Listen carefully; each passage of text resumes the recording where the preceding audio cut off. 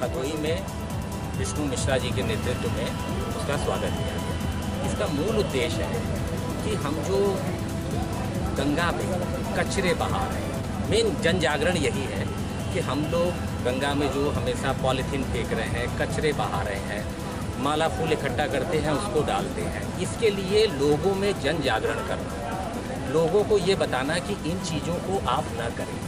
आप जो है प्लास्टर ऑफ़ पेरिस का फेंका हुआ सामान न फेंक दें, पॉलीथीन न फेंकें, ये सब चीज़ें न फेंकें, क्योंकि इससे गंगा प्रदूषित होती है। तो मेन जो उद्देश्य है, जन जागरण का है, और उसमें विष्णु मिश्रा जी ने बहुत अच्छा सहयोग किया और भदोई में इन्होंने जिस तरह से इस कार्यक्रम को आगे बढ़ाया वाकई ये तारीफ़ काबिल है।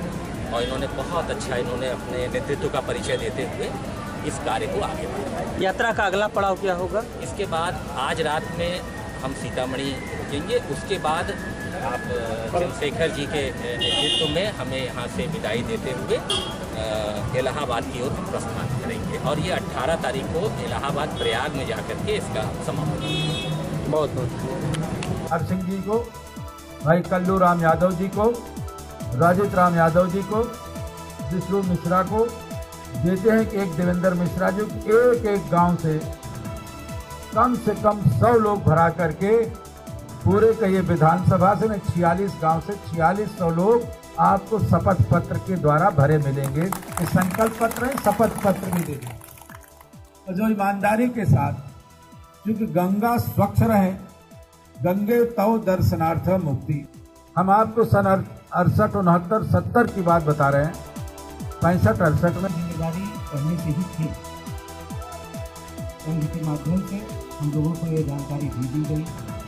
इतनी सरलता से जितने प्रेम से इस दिशा में हम लोगों को इशारा किया गया है तो यह कोई दबाव का काम नहीं। यह बात पूरे मन से, लगन से करने की बात। जहाँ भावना हो वहाँ हमेशा रिज़ल्ट है। जहाँ विश्वास हो, वहाँ हमेशा चमत्कार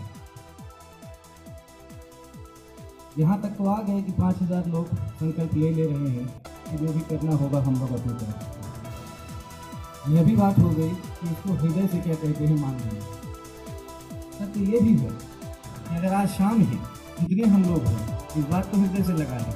कल से ही आप गंगा देखेंगे। शायद तो साफ़ सुथरे सफ़ेद दिखने लगे। और वास्तविकता ये है कि मैंने ये सब चीज़ें आँखों से देखी ऐसी ही सारी चीज़ें चलती आई हैं।